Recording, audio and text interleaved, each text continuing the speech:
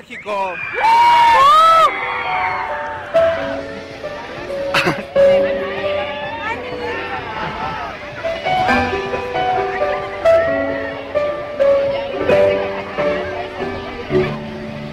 Y el ruido de los automóviles.